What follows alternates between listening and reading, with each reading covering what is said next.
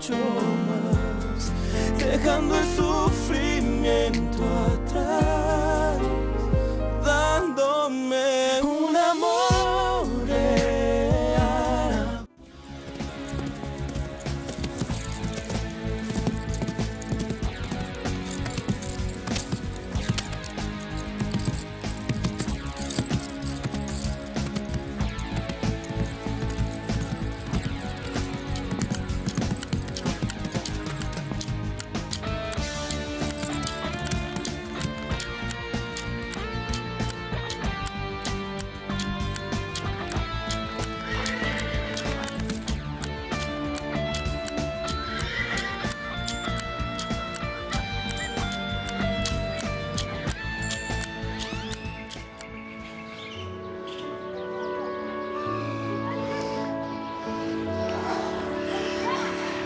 Ya me tengo que